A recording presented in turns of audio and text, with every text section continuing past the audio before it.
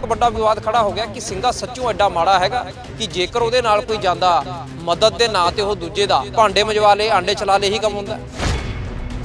ਜਦੋਂ ਦੇਖਿਆ ਜਾਵੇ, ਤੁਸੀਂ ਵੀ ਨਾਲ ਰਹਿੰਦੇ ਹੋ ਕਾਫੀ ਟਾਈਮ ਹੋ ਗਿਆ। ਤਾਂ ਹੁਣ ਪਹਿਲਾਂ ਮੈਂ ਕੀ ਕਹਾਂ? ਭਾਈ ਕਹਿਣਾ ਕਿ ਕੱਲ ਨੂੰ ਕਿਤੇ ਆ ਸਨੀ ਤੇ ਟਾਈਗਰ ਵਾਂਗੂ ਜੇ ਕੋਈ ਗੱਲ ਸਾਹਮਣੇ ਆ ਗਈ, ਫਿਰ ਔਖਾ ਹੋ ਜਾਊ।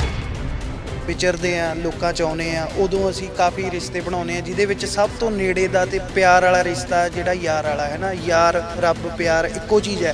ਚੀਜ਼ ਜ਼ਿਆਦਾ ਗੂੜੀ ਹੋ ਜਾਂਦੀ ਫਿਰ ਉਹ ਭਾਈਬੰਦੀ ਚ ਬਦਲ ਜਾਂਦੀ ਹੈ। ਬਸ ਉਹ ਫਿਰ ਜਿਹੜਾ ਉਹ ਭਰਾ ਵਾਲਾ ਰਿਸ਼ਤਾ ਹੈ ਉਹ ਖੂਨ ਦੇ ਰਿਸ਼ਤੇ ਨਾਲੋਂ ਵੀ ਕੁਝ ਜ਼ਿਆਦਾ ਡਾਰਕ ਹੁੰਦਾ ਹੈ। ਟਾਈਗਰ ਦੀ ਮੰਨ ਲਈਏ ਤਾਂ ਹੁਣ ਉਹ ਵੀ ਐਂ ਕਹਿੰਦਾ ਸੀਗਾ ਕਹਿੰਦਾ ਅ, ਸਿੰਘੇ ਵੀਰ ਨੇ ਮੇਰੇ ਨਾਲ ਬਹੁਤ ਮਾੜੀ ਕਰਤੀ। ਤਾਂ ਵੀਰ ਕਹਿ ਕੇ ਜੇ ਕਿਹਾ ਜਾਵੇ ਸਿੰਘੇ ਨੇ ਜੋ ਕੁਝ ਕੀਤਾ ਕਹਿੰਦਾ ਮੇਰੇ ਤੋਂ ਭਾਂਡੀ ਮਜਾਈ ਗਏ ਤੇ ਆਂਡੇ ਹੀ ਛਲਵਾਈ ਗਏ। ਕੱਲ ਵੀ ਗੱਲ ਹੋਈ ਸੀ ਚੈਨਲ ਤੇ, ਮੈਂ ਛੋਟੀ ਜੀ ਗੱਲ 'ਚ ਸਾਰਾ ਕੁਝ ਖਤਮ ਕਰ ਦੇਣਾ ਚਾਹਨਾ ਵੀਰੇ ਨੂੰ ਕਹਿ ਕੇ ਮਿੰਤਾਂ ਕਰੀਆਂ ਕਿ ਵੀਰੇ ਪਲੀਜ਼ ਆਪਾਂ ਕਿਸੇ ਨੂੰ ਨਹੀਂ ਰੱਖਣਾ, ਅਸੀਂ ਆਪਣਾ ਕੰਮ ਆਪ ਕਰ ਸਕਦੇ ਹਾਂ, ਮੈਨੂੰ ਸਬਜ਼ੀ ਸੁਬਜੀ ਬਣਾਉਣੀ ਆਉਂਦੀ, ਮੈਂ ਬਣਾ ਲੂੰਗਾ। ਹੁਣ ਮੰਨ ਲਓ ਮੈਂ ਭਾਂਡੇ ਧੋਤੇ ਹੈ ਨਾ ਵਾਸ਼ ਕਰਤੇ ਜਾਂ ਮੈਂ ਪੋਚਾ ਲਾਤਾ ਕੱਲ ਨੂੰ ਕਿਸੇ ਗੱਲ ਕਰਕੇ ਮੇਰੀ ਵੀਰੇ ਨਾਲ ਵੀਰਾ ਮੈਨੂੰ ਗੁੱਸੇ ਹੋ ਜੇ ਜਾਂ ਮੈਂ ਵੀਰੇ ਨਾਲ ਗੁੱਸੇ ਹੋ ਜਾ ਉਹਦਾ ਮਤਲਬ ਇਹ ਥੋੜੀ ਨਾ ਹੈਗਾ, ਮੈਂ ਜਾ ਕੇ ਲੋਕਾਂ ਨੂੰ ਇਹ ਕਹਿਣ ਲੱਪਾਂ ਮੈਂ ਹਾਂਜੀ ਮੇਰੇ ਤੋਂ ਭਾਂਡੇ ਧਵਾਲੇ ਮੈਂ ਤੋਂ ਆਹ ਕਰ ਲਿਆ, ਇਹ ਗੱਲ ਨਹੀਂ ਹੈਗੀ, ਇਹ ਬਿਲਕੁਲ ਗਲਤ ਗੱਲ ਹੈ ਇਦਾਂ ਦੀ ਕੀ ਗੱਲ ਹੈ ਤੁਹਾਨੂੰ? ਤੁਸੀਂ ਉਹਦੀ ਇੰਟਰਵਿਊ ਸੁਣੀ ਹੋਣੀ ਹੈ ਹਨਾ? ਹੁਣੇ ਉਹ ਚੱਕਵੀਆਂ ਜੀਆਂ ਗੱਲਾਂ ਸਟਾਰ ਵਾਲੀਆਂ ਵੀ ਮੈਂ 3000 ਗਾਣਾ ਲਿਖਿਆ ਪਿਆ। ਤੁਹਾਨੂੰ ਯਾਦ ਹੋਣਾ ਨੀਟੂ ਸ਼ਟਰ ਵਾਲਾ ਵੀ ਕਹਿੰਦਾ ਮੈਂ ਲੱਖ ਗਾਣਾ ਲਿਖਿਆ ਹੋਇਆ ਜੀ ਮੇਰੇ ਗਾਣੇ ਚੋਰੀ ਹੋ ਗਏ ਇਹ ਹੋ ਗਿਆ ਉਹ ਹੋ ਗਿਆ। ਟਾਈਗਰ ਇਹ ਗੱਲ ਕਹਿੰਦਾ ਕਿ ਮੇਰਾ ਇੱਕ ਗਾਣਾ ਵੀ ਜਿਹੜਾ ਸਿੰਘੇ ਨੇ ਗਾਇਆ ਰਿਕਾਰਡ ਕਰਾ ਕੇ ਰੱਖ ਰੱਖਿਆ। ਮੇਰੇ ਆਪਦੇ ਵੀ ਕਈ ਗਾਣੇ ਸੀਗੇ ਜਿਹੜੇ ਆਉਣ ਵਾਸਤੇ ਮੈਨੂੰ ਲਾਰਾ ਰਿਹਾ। ਪਰ ਇੱਕ ਚੀਜ਼ ਦੱਸੋ ਫਿਰ ਲਾਰਾ ਕਿਸ ਗੱਲ ਦਾ ਰਿਹਾ? ਆਖਰਕਾਰ ਜੇ ਉਹ ਗਾਣਾ ਕਰ ਦਿੰਦੇ ਗਾਣਾ ਕਰਨ ਤੋਂ ਬਾਅਦ ਆ ਜਿਹੜੀ ਚੀਜ਼ ਹੁਣ ਹੋਈ ਹੈ ਉਹ ਫੇਰ ਹੁੰਦੀ ਫੇਰ ਜ਼ਿਆਦਾ ਪ੍ਰੋਬਲਮ ਹੋਣੀ ਸੀ। ਫਿਰ ਮਨ 'ਚ ਇਹ ਵੀ ਹੋਣਾ ਸੀ ਵੀ ਪੈਸੇ ਲਾਤੇ ਸ਼ੁਕਰ ਹੈ ਪਹਿਲੀ ਪਤਾ ਲੱਗ ਗਿਆ। ਪ੍ਰਿੰਕਲ ਨੇ ਵੀ ਜਿਹੜੀ ਗੱਲ ਸਾਡੇ ਨਾਲ ਕਰੀ ਹੈਗੀ ਸਾਡੇ ਐਂਕਰ ਦੇ ਨਾਲ ਉਹ ਚ ਵੀ ਉਹਨੇ ਇਹ ਗੱਲ ਕਹੀ ਆ ਕਿ ਆਖਰਕਾਰ ਹਾਂ ਇਹਨੂੰ ਨਾ ਪੈਸਾ ਦਿੱਤਾ ਉਹਨੇ ਕੋਈ ਅ, ਸਿੰਘੇ ਨੇ ਉਲਟਾ ਇਹਦੇ ਤੋਂ ਕੰਮ ਕਰਾਈ ਗਿਆ। ਨਹੀਂ, ਦੇਖੋ ਮੈਂ ਇਸ ਚੀਜ਼ 'ਚ ਤਾਂ ਮੈਂ ਕਮੈਂਟ ਨਹੀਂ ਕਰਨਾ ਚਾਹੁੰਦਾ ਕਿਉਂਕਿ ਮੈਂ ਵੱਡਿਆਂ ਦੀ ਗੱਲ 'ਚ ਮੈਂ ਨਹੀਂ ਬੋਲਣਾ ਚਾਹੁੰਦਾ। ਮੈਂ ਨਹੀਂ ਚਾਹੁੰਦਾ ਕਿ ਕੱਲ ਨੂੰ ਵੀਰੇ ਹੁਣੀ ਆਪਸ ਦੇ ਵਿੱਚ, ਹੈ ਨਾ, ਜਾਂ ਮੇਰੇ ਬਾਰੇ ਕੁਝ ਗਲਤ ਸੋਚਣ। ਮੈਂ ਤੁਹਾਨੂੰ ਕੋਈ ਗੱਲ ਕਹਿਦਾ ਤੋਂ ਚਾਰ ਬੰਦਿਆਂ ਤੱਕ ਜਾਂਦੀ ਜਾਂਦੀ ਨਾਲ ਇੱਕ ਦੋ ਗੱਲਾਂ ਹੋਰ ਜੁੜ ਜਾਣੀਆਂ ਉਹ ਮਸਾਲਾ ਬਣ ਜਾਂਦਾ। ਮੈਂ ਇਹ ਨਹੀਂ ਕਹਿੰਦਾ ਵੀਰਾ ਗਲਤ ਹੈ ਜਾਂ ਵੀਰੇ ਨੇ ਗਲਤ ਕਿਹਾ, ਜੋ ਵੀ ਕੱਲ ਕਮੈਂਟ ਵਗੈਰਾ ਹੋਇਆ, ਹੋ ਸਕਦਾ ਵੀਰੇ ਨੂੰ ਕੋਈ ਗਲਤ ਫਹਿਮੀ ਲੱਗੀ ਹੋਵੇ। ਬਹੁਤ ਵੱਡੇ ਵੱਡੇ ਗਾਇਕਾਂ ਨੇ ਕਿਹਾ ਕਿ ਸਾਡਾ ਸ਼ੋਸ਼ਣ ਹੁੰਦਾ ਰਿਹਾ ਜੀ, ਸਾਡਾ ਫਲਾਣਾ ਗਾਇਕ ਐਂ ਕਰਦਾ ਰਿਹਾ। ਪਰ ਉਹਨਾਂ ਨਾਲ ਜੁੜ ਗਿਆ ਹੁਣ ਸਿੰਘੇ ਦਾ ਕਿ ਯਾਰ ਸਿੰਘੇ ਨੇ ਐ ਕੀਤਾ ਹੋਣਾ।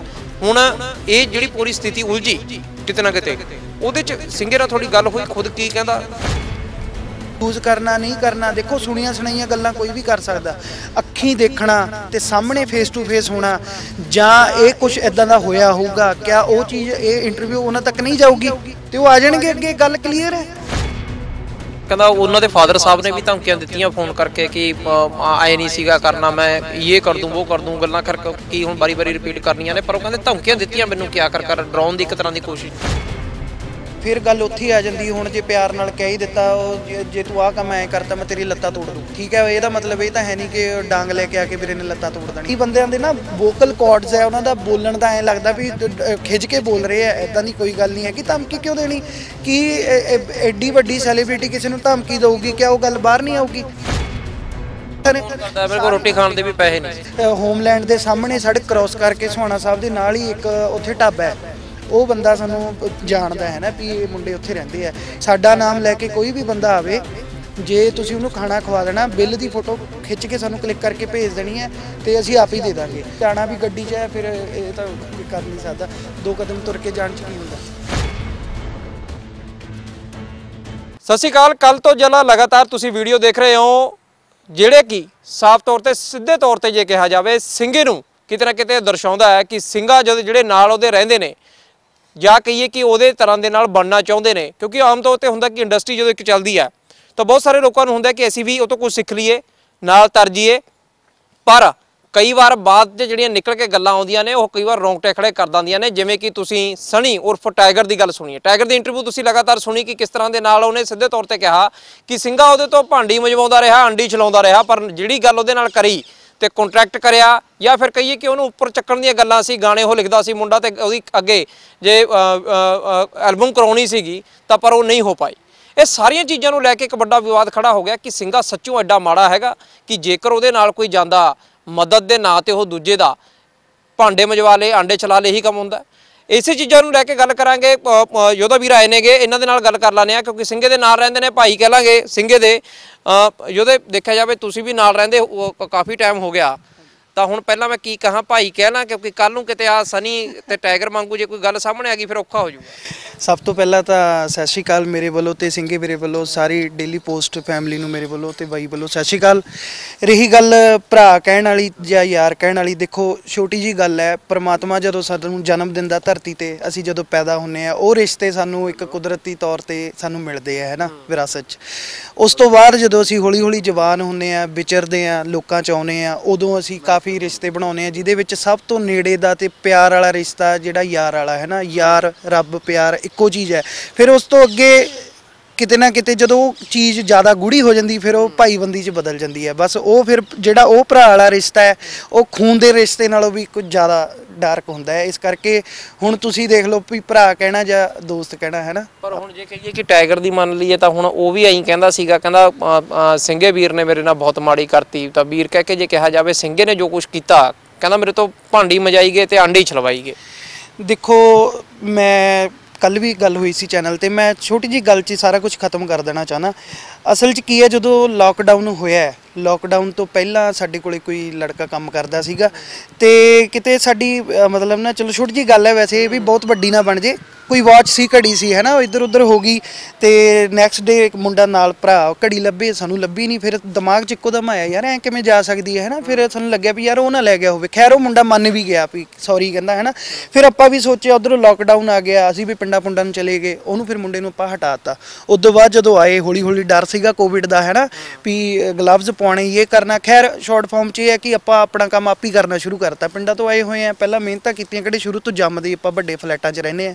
ਸੋ ਇਦਾਂ ਦੀ ਕੋਈ ਗੱਲ ਨਹੀਂ ਹੈ। ਇਹ ਤਾਂ ਆਪਾਂ ਇੱਕ ਆਪਸ 'ਚ ਵੀਰੇ ਨੂੰ ਕਹਿ ਕੇ ਮਿਹਨਤਾਂ ਕਰੀਆਂ ਕਿ ਵੀਰੇ ਪਲੀਜ਼ ਆਪਾਂ ਕਿਸੇ ਨੂੰ ਨਹੀਂ ਰੱਖਣਾ। ਅਸੀਂ ਆਪਣਾ ਕੰਮ ਆਪ ਕਰ ਸਕਦੇ ਆ। ਮੈਨੂੰ ਸਬਜ਼ੀ ਸੂਜੀ ਬਣਾਉਣੀ ਆਉਂਦੀ, ਮੈਂ ਬਣਾ ਲੂੰਗਾ।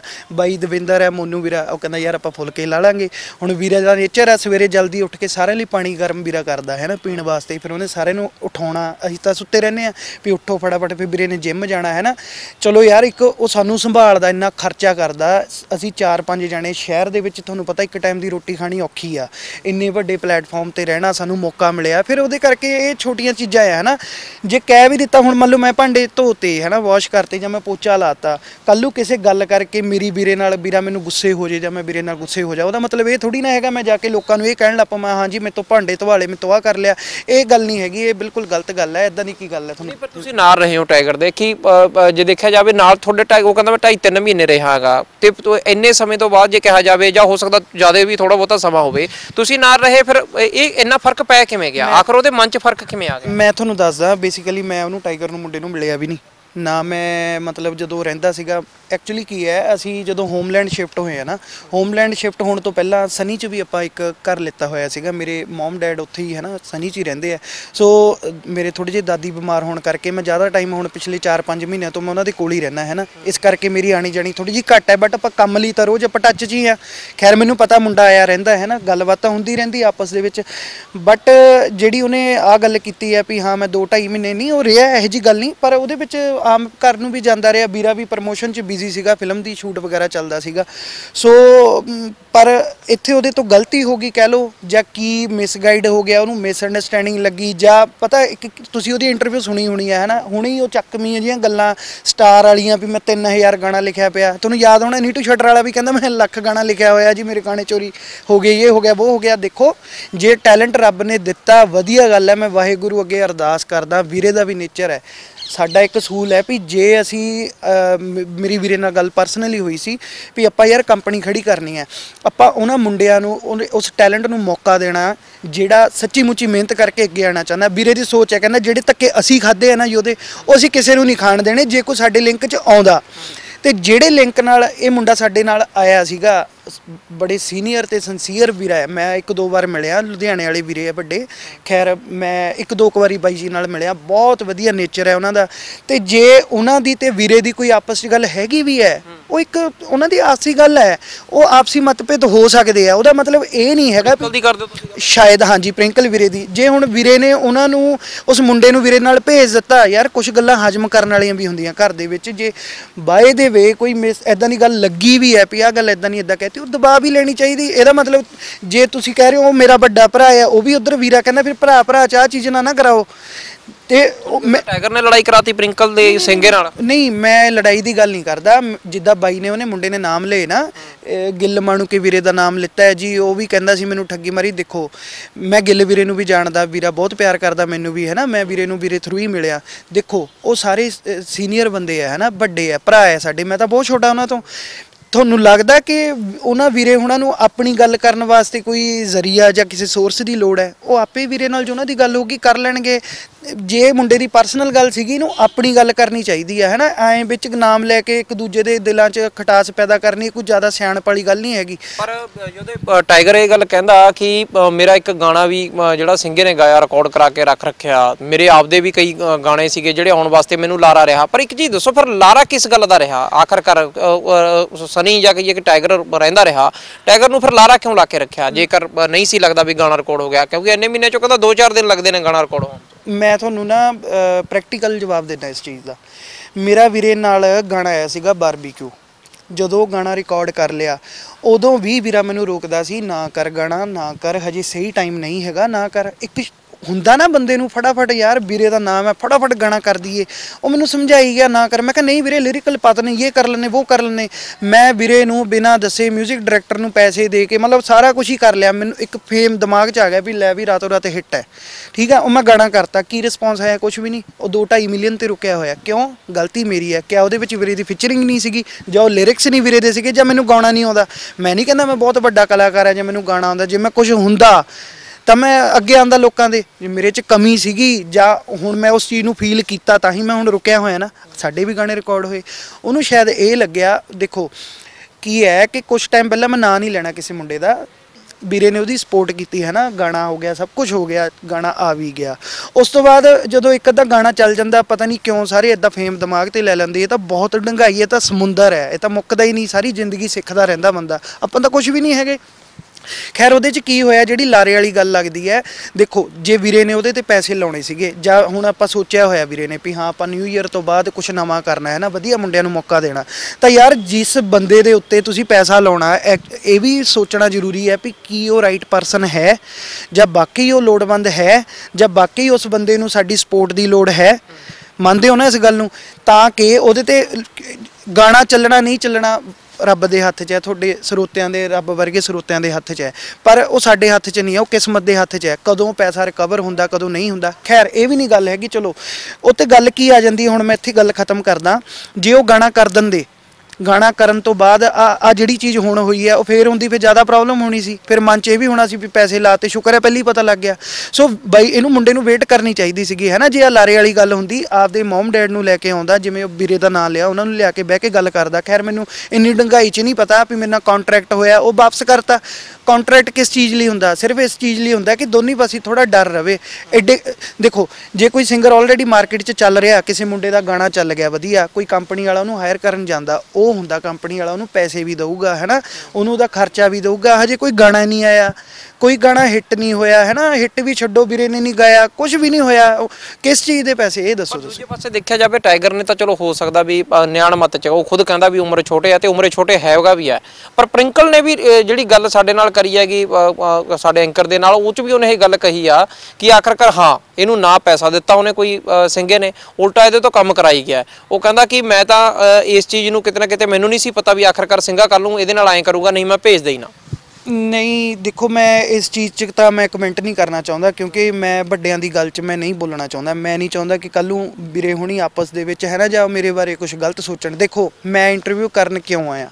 ਮੈਂ ਕੋਈ ਸਿੱਖਿਆ ਸਿਖਾਇਆ ਜਾਂ ਮੈਨੂੰ ਕੋਈ ਇਹ ਪਲਾਨਡ ਨਹੀਂ ਹੈਗਾ ਵੀ ਮੇਰੇ ਵੱਲੋਂ ਉਹ ਬੋਲੋ। ਤੁਹਾਨੂੰ ਲੱਗਦਾ ਸਿੰਘੇ ਵੀਰੇ ਨੂੰ ਆਪਣੀ ਸਫ਼ਾਈ ਵਾਸਤੇ ਕਿਸੇ ਦੀ ਲੋੜ ਹੈ? ਖਾਸ ਕਰਕੇ ਇਦਾਂ ਦੇ ਕਿਸੇ ਬੰਦੇ ਦੀ ਜਿਹਨੂੰ ਕੋਈ ਜਾਣਦਾ ਨਾ ਹੋਵੇ। ਮੈਨੂੰ ਤਾਂ ਨਹੀਂ ਕੋਈ ਜਾਣਦਾ। ਸੋ ਮੇਰਾ ਕਹਿਣ ਦਾ ਮਤਲਬ ਕੀ ਹੈ, ਮੈਂ ਨਾਲ ਰਹਿਣਾ, ਮੈਨੂੰ ਦਿਲੋਂ ਦੁੱਖ ਲੱਗਿਆ ਇਸ ਚੀਜ਼ ਦਾ। ਰਹੀ ਗੱਲ ਪ੍ਰਿੰਕਲ ਵੀਰੇ ਦੀ, ਦੇਖੋ ਹੋ ਸਕਦਾ ਜਿਹੜੀ ਇੱਕ ਗੱਲ ਹੁੰਦੀ ਨਾ ਫੇਸ ਟੂ ਫੇਸ ਆ ਵੀਰਾ ਬੈਠਾ, ਪ੍ਰਿੰਕਲ ਵੀਰਾ ਬੈਠਾ, ਨਾਲ ਉਹ ਮੁੰਡਾ ਬੈਠਾ ਹੁੰਦਾ। ਉਹ ਜਿਹੜੀ ਕ੍ਰਾਸ ਕੁਐਸਚਨਿੰਗ ਹੁੰਦੀ ਹੈ, ਉੱਥੇ ਉਹ ਚੀਜ਼ ਕਲੀਅਰ ਹੋ ਸਕਦੀ। ਹੁਣ ਹੋ ਸਕਦਾ, ਹੁਣ ਮੈਂ ਤੁਹਾਨੂੰ ਕੋਈ ਗੱਲ ਕਹਿਦਾ ਤੋਂ ਚਾਰ ਬੰਦਿਆਂ ਤੱਕ ਜਾਂਦੀ ਜਾਂਦੀ ਨਾਲ ਇੱਕ ਦੋ ਗੱਲਾਂ ਹੋਰ ਜੁੜ ਜਾਣੀਆਂ, ਉਹ ਮਸਾਲਾ ਬਣ ਜਾਂਦਾ।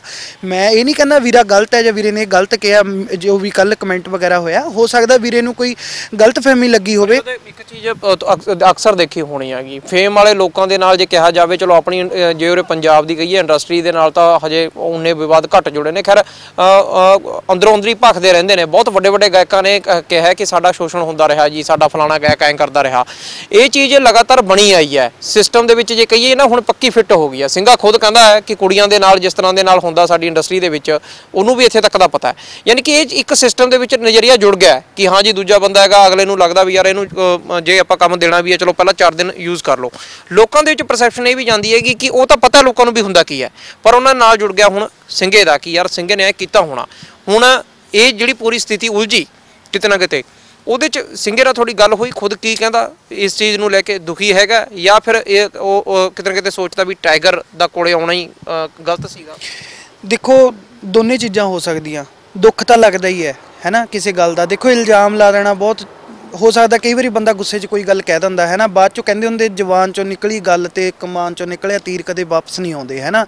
ਸਬੂਤ ਹੁੰਦਾ ਹਰੇਕ ਚੀਜ਼ ਦਾ, ਸਬੂਤ ਦੇ ਬਿਹਾਫ ਤੇ ਗੱਲ ਹੁੰਦੀ। ਤੁਸੀਂ ਇੱਕ ਚੀਜ਼ ਦੇਖੋ, ਮੈਂ ਚਲੋ ਬਾਲੀਵੁੱਡ ਲੈਵਲ ਤੱਕ ਦੇਖ ਲਓ, ਨਾਲੇ ਅੱਜ ਦੇ ਟਾਈਮ 'ਚ ਦੇਖ ਲਓ, ਮੈਂ ਕੋਈ ਚੀਜ਼ ਕਿਸੇ ਦਾ ਪਾਰਟਿਕੂਲਰ ਨਾਮ ਲੈ ਕੇ ਕੋਈ ਵਿਵਾਦ ਨਹੀਂ ਨਵਾਂ ਸ਼ੁਰੂ ਕਰਨਾ ਚਾਹੁੰਦਾ। ਜੇ ਕਦੇ ਕਿਸੇ ਕੁੜੀ ਨਾਲ ਕਿਸੇ ਵੀ ਪਾਸੇ ਕੋਈ ਧੱਕਾ ਹੋਇਆ ਜਾਂ ਹੋਇਆ ਜਾਂ ਚੱਲ ਰਿਹਾ। ਤੁਹਾਨੂੰ ਤੁਹਾਨੂੰ ਪਤਾ ਅੱਜ ਕੱਲ੍ਹ ਸੋਸ਼ਲ ਨੈਟਵਰਕ ਹੈ ਸਾਰਾ ਕੁਝ ਹੁਣ ਵੀ ਤਾਂ ਮੀਡੀਆ ਥਰੂ ਹੀ ਗੱਲ ਹੋਈ ਹੈ ਕਿ ਉਹ ਅਹ, ਅੱਗੇ ਨਹੀਂ ਆਏ ਹੋਣਗੇ ਜਾਂ ਆ ਨਹੀਂ ਸਕਦੇ। ਐਦਾਂ ਨਹੀਂ ਹੈ। ਵੀਰਾ ਤਾਂ ਗਰੀਬ ਕੁੜੀਆਂ ਦੇ ਵਿਆਹ ਵੀ ਕਰਾਏ ਆਪਾਂ ਕਰਾਉਨੇ ਆ। ਆਪਾਂ ਹੁਣੇ ਦੱਸ ਕੇ ਥੋੜੀ ਕਰਾਉਣਾ ਫੋਟੋ ਥੋੜੀ ਖਿਚਾਉਣੀਆਂ ਕਿ ਹਾਂ ਇੰਨੀਆਂ ਕੁੜੀਆਂ ਦੇ ਵਿਆਹ ਕਰਾਤੇ ਉਹ ਸਾਨੂੰ ਪਤਾ ਸਾਡੇ ਰੱਬ ਨੂੰ ਪਤਾ। ਰਹੀ ਗੱਲ ਕਿ ਹਾਂ ਯੂਜ਼ ਕਰਨਾ ਨਹੀਂ ਕਰਨਾ ਦੇਖੋ ਸੁਣੀਆਂ ਸੁਣਾਈਆਂ ਗੱਲਾਂ ਕੋਈ ਵੀ ਕਰ ਸਕਦਾ। ਅੱਖੀਂ ਦੇਖਣਾ ਤੇ ਸਾਹਮਣੇ ਫੇਸ ਟੂ ਫੇਸ ਹੋਣਾ ਜਾਂ ਇਹ ਕੁਝ ਇਦਾਂ ਦਾ ਹੋਇਆ ਹੋਊਗਾ ਕਿਆ ਉਹ ਚੀਜ਼ ਇਹ ਇੰਟਰਵਿਊ ਉਹਨਾਂ ਤੱਕ ਨਹੀਂ ਜਾਊਗੀ? ਤੇ ਉਹ ਆ ਜਾਣਗੇ ਅੱਗੇ ਗੱਲ ਕਲੀਅਰ ਹੈ? ਪਰ ਉਹ ਤਾਂ ਕਹਿੰਦਾ ਧਮਕੀਆਂ ਵੀ ਦਿੱਤੀਆਂ ਕਹਿੰਦਾ ਉਹਨਾਂ ਦੇ ਫਾਦਰ ਸਾਹਿਬ ਨੇ ਵੀ ਧਮਕੀਆਂ ਦਿੱਤੀਆਂ ਫੋਨ ਕਰਕੇ ਕਿ ਆਏ ਨਹੀਂ ਸੀਗਾ ਕਰਨਾ ਮੈਂ ਇਹ ਕਰ ਦੂੰ ਉਹ ਕਰ ਦੂੰ ਗੱਲਾਂ ਕਰ ਕੀ ਹੁਣ ਬਾਰੀ-ਬਾਰੀ ਰਿਪੀਟ ਕਰਨੀਆਂ ਨੇ ਪਰ ਉਹ ਕਹਿੰਦੇ ਧਮਕੀਆਂ ਦਿੱਤੀਆਂ ਮੈਨੂੰ ਕੀ ਆਖਰ ਕਰ ਡਰਾਉਣ ਦੀ ਇੱਕ ਤਰ੍ਹਾਂ ਦੀ ਕੋਸ਼ਿਸ਼। ਨਹੀਂ ਧਮਕੀ ਕੁਛ ਨਹੀਂ ਹੈ ਫਿਰ ਗੱਲ ਉੱਥੇ ਆ ਜਾਂਦੀ ਹੁਣ ਜੇ ਪਿਆਰ ਨਾਲ ਕਹਿ ਹੀ ਦਿੱਤਾ ਜੇ ਤੂੰ ਆਹ ਕੰਮ ਐ ਕਰਤਾ ਮੈਂ ਤੇਰੀ ਲੱਤਾਂ ਤੋੜ ਦੂੰ। ਠੀਕ ਹੈ ਇਹਦਾ ਮਤਲਬ ਇਹ ਤਾਂ ਹੈ ਨਹੀਂ ਕਿ ਡਾਂਗ ਲੈ ਕੇ ਆ ਕੇ ਵੀਰੇ ਨੇ ਲੱਤਾਂ ਤੋੜ ਦੇਣੀਆਂ। ਦੇਖੋ ਜਿਹਦੇ ਨਾਲ ਪਿਆਰ ਹੁੰਦਾ ਦਿਲੋਂ ਜਿਹਨੂੰ ਕੁਝ ਬੰਦਾ ਕੁਝ ਸਮਝਦਾ ਉਹਦੇ ਤੇ ਹੀ ਹੱਕ ਜਤਾਇਆ ਜਾਂਦਾ। ਤੁਸੀਂ ਰਾਹ ਜਾਂਦੇ ਅ, ਕਿਸੇ ਯੂਪੀ ਬਿਹਾਰ ਦੇ ਜਿਹੜੇ ਸਾਡੇ ਮਜ਼ਦੂਰ ਆਉਂਦੇ ਆ ਤੁਸੀਂ ਉਹਨਾਂ ਨੂੰ ਵੀ ਅੱਖ ਨਹੀਂ ਕੱਢ ਕੇ ਦੇਖ ਸਕਦੇ ਉਹਨਾਂ ਤੇ ਵੀ ਤੁਸੀਂ ਥੱਪੜ ਨਹੀਂ ਮਾਰ ਸਕਦੇ। ਹਰੇਕ ਬੰਦਾ ਆਪਣੇ ਨਾਲ ਪਾਵਰ ਚੱਕੀ ਫਿਰਦਾ ਅੱਜ ਦੇ ਟਾਈਮ 'ਚ ਇਦਾਂ ਦੀ ਕੋਈ ਗੱਲ ਨਹੀਂ ਹੈਗੀ। ਕੋਈ ਕਿਸ ਤੋਂ ਲੈ ਕੇ ਨਹੀਂ ਖਾਂਦਾ ਨਾ ਕੋਈ ਕਿਸ ਤੇ ਡਿਪੈਂਡੇਬਲ ਹੈ। ਵਾਹਿਗੁਰੂ ਨੇ ਹਰੇਕ ਬੰਦੇ ਦਾ ਸਿਸਟਮ ਕਰਿਆ ਹੋਇਆ ਇੱਥੇ। ਐਦਾਂ ਦੀ ਕੋਈ ਗੱਲ ਨਹੀਂ ਹੈਗੀ। ਧਮਕੀ ਵਾਲੀ ਦੇਖੋ ਚਲੋ ਵੀਰੇ ਨੂੰ ਵੀ ਕਹਤਾ ਧਮਕੀ, ਇੱਕ ਬਜ਼ੁਰਗ ਸ- ਸਿਆਣਾ ਬੰਦਾ ਜਿਹੜਾ ਪਿਓ ਹੈ, ਉਹ ਕਿਉਂ ਧਮਕੀ ਦੇਊਗਾ? ਉਹਦੇ ਲਈ ਸਾਰੇ ਬੱਚੇ ਸੇਮ ਹੈ। ਮੈਂ ਮੈਂ ਕਦੇ, ਮੈਂ ਤੁਹਾਨੂੰ ਦੱਸਦਾ ਫੋਨ ਤੇ ਕਦੇ ਜਦੋਂ ਗੱਲ ਹੁੰਦੀ ਹੈ ਪੁੱਤ ਪੁੱਤ ਕਰਕੇ ਬੁਲਾਉਣਾ, ਸਾਡੇ ਮੂੰਹ ਡੈਡੀ ਨਿਕਲ ਜਾਂਦਾ, ਪਿਓ ਪਿਓ ਤਾਂ ਪਿਓ ਹੀ ਹੈ ਸਾਰਿਆਂ ਦੇ ਹੈ ਨਾ ਸੋ ਗੱਲ ਕੀ ਹੈ? ਹੋ ਸਕਦਾ ਉਹਨਾਂ ਨੇ, ਦੇਖੋ, ਕਈ ਬੰਦਿਆਂ ਦੇ ਨਾ ਵੋਕਲ ਕਾਰਡਸ ਹੈ, ਉਹਨਾਂ ਦਾ ਬੋਲਣ ਦਾ ਐਂ ਲੱਗਦਾ ਵੀ ਤ- ਖਿੱਚ ਕੇ ਬੋਲ ਰਹੇ ਆ ਐਦਾਂ ਦੀ ਕੋਈ ਗੱਲ ਨਹੀਂ ਹੈ ਕਿ ਧਮਕੀ ਕਿਉਂ ਦੇਣੀ? ਕਿ ਐਡੀ ਵੱਡੀ ਸੈਲੀਬ੍ਰਿਟੀ ਕਿਸੇ ਨੂੰ ਧਮਕੀ ਦੇਊਗੀ? ਕਿ ਉਹ ਗੱਲ ਬਾਹਰ ਨਹੀਂ ਆਊਗੀ? ਕਿਸ ਗੱਲ ਦੀ ਧਮਕੀ ਦੇਣੀ? ਜੇ ਕੱਲ ਨੂੰ ਇਹਦੇ ਨਾਲ ਵੀਰੇ ਦਾ ਜ਼ਿਆਦਾ ਨੁਕਸਾਨ ਹੈ ਠੀਕ ਹੈ ਜੀ ਜੇ ਇਦਾਂ ਕੁਝ ਕਰੂਗੇ ਉਹਦੇ ਨਾਲ ਉਹਦਾ ਜ਼ਿਆਦਾ ਨੁਕਸਾਨ ਹੈ ਇਦਾਂ ਦੀ ਕੋਈ ਗੱਲ ਨਹੀਂ ਤਾਂ ਹੋ ਗਿਆ ਇਹ ਐਪੀਸੋਡ ਜੇ ਆਪਾਂ ਲਾਸਟ 'ਚ ਤੁਹਾਨੂੰ ਇਹਨਾਂ ਕੋ ਪੁੱਛੂੰਗਾ ਵੀ ਕਿਉਂਕਿ ਸਿੰਘੇ ਨਾਲ ਵੀ ਗੱਲ ਹੋਈ ਹੋਣੀ ਆ ਥੋੜੀ ਜ਼ਿਆਦਾ ਲਗਾਤਾਰ ਇਸ ਤਰ੍ਹਾਂ ਦਾ ਵਿਵਾਦ ਚੱਲ ਰਿਹਾ ਹੁਣ ਜਦੋਂ ਦੀ ਉਹ ਆਇਆ ਅੱਗੇ ਟਾਈਗਰ ਤਾਂ ਹੋ ਸਕਦਾ ਆਉਂਦੇ ਦਿਨਾਂ 'ਚ ਵੀ ਇਹ ਲਗਾਤਾਰ ਅੱਗੇ ਆਉਂਦਾ ਰਹੇ। ਪਰ ਕੀ ਗੱਲਬਾਤ ਹੋਈ ਵੀ ਹੋ ਕੀ ਗਿਆ ਫਿਰ ਆਖਰ ਕਰ? ਇਹ ਕੀ ਇਹ ਬਣਦੀ ਸੀ ਕੋਈ ਇਸ ਤਰ੍ਹਾਂ ਦੇ ਨਾਲ ਜਾਂ ਜਾਂਦੇ ਹੋਏ ਘੋਰਤਾ ਸੀਗਾ ਕਿ ਆਖਰ ਕਰ ਇਹ ਇਹ ਕਰਕੇ ਉਹਨੇ ਫਿਰ ਗੁੱਸਾ ਰੱਖ ਲਿਆ ਹੋਵੇ? ਕਿਉਂਕਿ ਹੈ ਤਾਂ ਉਹ ਵੀ ਜਵਾਕ ਉਮਰੀ। ਦੇਖੋ ਜੀ ਸਾਰੀ ਸੈਂਸਲੈਸ ਜੀ ਗੱਲ ਹੈ। ਕੁਝ ਵੀ ਐਡਾ ਕੱਢਣ ਪਾਉਣ ਨੂੰ ਇਹਦੇ ਚ ਹੈ ਨਹੀਂਗਾ। ਤੇ ਮੈਂ ਮੈਨੂੰ ਵੈਸੇ ਥੋੜਾ ਜਿਹਾ ਕੁਝ ਚੰਗਾ ਨਹੀਂ ਲੱਗਿਆ। ਦੇਖੋ ਉਹ ਭਰਾ ਆ ਛੋਟਾ ਹੈ ਨਾ? ਅਪ ਮੈਂ ਉਹਨੂੰ ਨਹੀਂ ਮਿਲਿਆ ਪਰਸਨਲੀ ਨਹੀਂ ਮਿਲਿਆ। ਮੈਂ ਉਹ- ਉਹਦੇ ਜਗ੍ਹਾ ਤੇ ਆਪਣੇ ਆਪ ਨੂੰ ਰੱਖ ਕੇ ਸੋਚ ਸਕਦਾ ਉਸ ਏਜ ਦੇ ਵਿੱਚ। ਮੈਂ ਬਹੁਤ ਜ਼ਿਆਦਾ ਸਿਆਣਾ ਹੋਮਲੈਂਡ ਹੀ ਰਹਿੰਦਾ ਰਿਹਾ ਤੁਸੀਂ ਉੱਥੇ ਨਹੀਂ ਮਿਲੇ? ਮੈਂ ਤੁਹਾਨੂੰ ਦੱਸਦਾ ਮੈਂ ਤੁਹਾਨੂੰ ਦੱਸਦਾ। ਗੱਲ ਇਸ ਤਰ੍ਹਾਂ ਹੈ ਕਿ ਇੱਕ ਜਦੋਂ ਬੰਦੇ ਨੂੰ ਕਿਤੇ ਲੱਗਦਾ ਨਾ, ਇੱਕ ਪਤਾ ਲੱਗ ਜਾਵੇ ਕਿ ਹਾਂ, ਮੇਰਾ ਗਾਣਾ ਕਰਨਾ। ਜਿਵੇਂ ਹੁਣ ਵੀਰੇ ਨਾਲ ਉਹਦੀ ਗੱਲ ਹੋ ਗਈ, ਬੰਦਾ ਦੱਸਣਾ ਸ਼ੁਰੂ ਕਰ ਦਿੰਦਾ, ਯਾਰਾਂ ਦੋਸਤਾਂ 'ਚ, ਰਿਸ਼ਤੇਦਾਰਾਂ 'ਚ, ਲੈ ਵੀ ਇੰਨੀ ਤਰੀਕ ਨੂੰ ਮੇਰਾ ਗਾਣਾ ਆ ਜਾਊਗਾ, ਐ ਹੋ ਜਾਊਗਾ। ਉਹ ਹੁਣ ਉਹ ਹੁੰਦਾ ਕਿ ਅਲਟੀਮੇਟਲੀ ਬੰਦਾ ਭੁੱਲ ਜੇ ਭੁੱਲ ਜੇ ਜਿਨ੍ਹਾਂ ਨੂੰ ਦੱਸਿਆ ਹੁੰਦਾ ਉਹ ਨਹੀਂ ਭੁੱਲਦੇ। ਸੋ ਇਹ ਕਾਫੀ ਕੁਝ ਚੀਜ਼ਾਂ ਇਕੱਠੀਆਂ ਹੋ ਕੇ ਮਾਈਂਡ ਦੇ ਵਿੱਚ ਕੀ ਉਹਨੂੰ ਇਦਾਂ ਦਾ ਪ੍ਰੈਸ਼ਰ ਹੋਇਆ ਜਾਂ ਕੀ ਉਹਨੂੰ ਕਿਸੇ ਨੇ ਕੋਈ ਇਹੋ ਜੀ ਗੱਲ ਸਿਖਾਤੀ ਜਾਂ ਕੀ ਰੱਬ ਜਾਣੇ ਉਹਨੂੰ ਹੋਇਆ ਕਿ ਉਹ ਇਦਾਂ ਕਿਉਂ ਮਜਬੂਰ ਹੋ ਗਿਆ ਗੱਲ ਕਰਨ ਨੂੰ? ਠੀਕ ਹੈ ਉਹਦੇ ਦਿਲ 'ਚ ਕੋਈ ਗੁੱਸਾ ਸੀਗਾ ਕੋਈ ਗੱਲ ਸੀਗੀ ਉਹ ਫੇਸ ਟੂ ਫੇਸ ਵੀਰੇ ਨਾਲ ਕਰਕੇ ਚੱਲ ਜਾਂਦਾ ਨਾਲੇ ਜਿੱਥੇ ਤੱਕ ਮੈਨੂੰ ਪਤਾ ਉਹ ਚਲਿਆ ਗਿਆ ਹੈ ਨਾ? ਕਿ ਉਹ ਕਹਿੰਦਾ ਮੈਂ 1:30 ਵਜੇ ਚਲੇ ਗਿਆ ਘਰ ਨੂੰ। ਤੇ ਉਦੋਂ ਬਾਅਦ ਤਾਂ ਨੰਬਰ ਹੀ ਸਾਰੇ ਫੋਨ ਕਰਦਾ ਮੇਰੇ ਕੋਲ ਰੋਟੀ ਖਾਣ ਦੇ ਵੀ ਪੈਸੇ ਨਹੀਂ ਸੀ। ਸਾਰੇ ਨੰਬਰ ਬਾਈ ਜੀ ਬਲੌਕ ਲਿਸਟ 'ਚ ਪਾਏ ਹੋਏ ਨੇ ਤੁਸੀਂ ਐਦਾਂ ਕਰੋ ਹੁਣੇ ਮੇਰੇ ਨਾਲ ਫਲਾਈਟ ਜਾਓ ਜੇ ਫਲਾਈਟ 'ਚ ਰੋਟੀ ਖਾਣ ਨੂੰ ਨਹੀਂ ਹੈਗੀ ਤਾਂ ਉੱਥੇ ਵਿੱਚ ਉੱਥੇ ਸਾਰਾ ਕੁਝ ਪਿਆ ਖਾਣ ਪੀਣ ਨੂੰ, ਹੈ ਨਾ? ਹੋਰ ਸਨੈਕਸ ਇਹ ਉਹ ਚਲੋ, ਇਹ ਗੱਲਾਂ ਕੀ ਕਰ ਪਰਸਨਲ ਗੱਲਾਂ, ਦੇਖੋ, ਐਡੀ ਵੱਡੇ ਆਪਾਂ ਜਗ੍ਹਾ 'ਚ ਰਹਿੰਦੇ ਆ ਖਾਣ ਪੀਣ ਦੀ ਕਿਹੜੀ ਗੱਲ ਹੈ? ਹੁਣ ਹੋਮਲੈਂਡ ਦੇ ਸਾਹਮਣੇ ਸੜਕ ਕ੍ਰਾਸ ਕਰਕੇ ਸੁਹਾਣਾ ਸਾਹਿਬ ਦੇ ਨਾਲ ਹੀ ਇੱਕ ਉੱਥੇ ਢਾਬਾ ਹੈ। ਉਹ ਬੰਦਾ ਸਾਨੂੰ ਜਾਣਦਾ ਹੈ ਨਾ ਵੀ ਇਹ ਮੁੰਡੇ ਉੱਥੇ ਰਹਿੰਦੇ ਆ। ਕਈ ਵਾਰ ਕੀ ਹੁੰਦਾ, ਵੀਰਾ ਜਿਵੇਂ ਅਸੀਂ ਕਿਤੇ ਸ਼ੂਟ ਤੇ ਗਏ ਹੋਏ ਆ, ਕੋਈ ਨੋਨ ਪਰਸਨ ਆ ਗਿਆ, ਉਹ ਫੋਨ ਕਰ ਦਿੰਦਾ ਵੀ ਬਾਈ ਯਾਰ ਰੋਟੀ ਰੋਟੀ ਨਹੀਂ ਖਾਧੀ, ਆਪਾਂ ਯਾਰ ਇੱਥੇ ਆਏ ਹੋਏ ਆ ਵੀ ਯਾਰ ਨਾ ਸੁਣਨ ਸੌਣ ਸੁਣਦਾ ਵੀ ਕਿਤੇ ਹੈ ਨਹੀਂਗਾ ਸਿਸਟਮ ਹੁਣ ਚਲੋ ਸਾਡੇ ਲਿੰਕ ਹੈਗੇ, ਆਪਾਂ ਫੋਨ ਮਾਰ ਦਈਦਾ ਵੀ ਬਾਈ ਦੋ ਭਰਾ ਆ ਰਹੇ ਆ, ਕੋਈ ਗੱਲ ਨਹੀਂ ਸਵਾ ਲਿਓ, ਸਵੇਰੇ ਚਲੇ ਜਾਣਗੇ।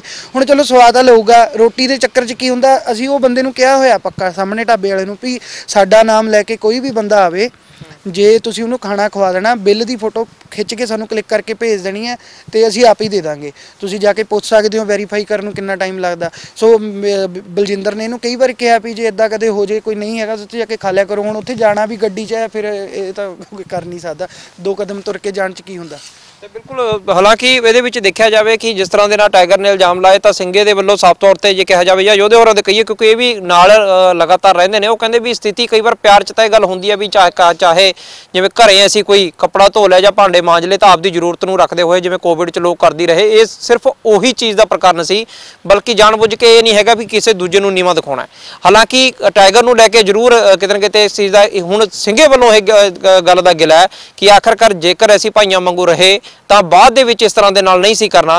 ਹਾਲਾਂਕਿ ਇਹ ਕਿਸੇ ਦੀ ਵੀ ਸਮਝ ਨਹੀਂ ਪੈ ਰਿਹਾ ਕਿ ਆਖਰ ਇਹ ਜੀ ਸਥਿਤੀ ਆਖਰ ਖੜੀ ਕਿਉਂ ਹੋ ਗਈ ਕਿ ਸਿੰਘੇ ਤੇ ਸਿੱਧੇ ਤੌਰ ਤੇ ਇਲਜ਼ਾਮ ਟਾਈਗਰ ਆ ਕੇ ਲਾ ਦਿੰਦਾ। ਸੀਨੀਅਰ ਵੀਡੀਓ ਜਰਨਲਿਸਟ ਕਮਲ ਦੇ ਨਾਲ ਸਮਿਸਿੰਗ ਡੇਲੀ ਪੋਸਟ, ਪੰਜਾਬੀ, ਚੰਡੀਗੜ੍ਹ।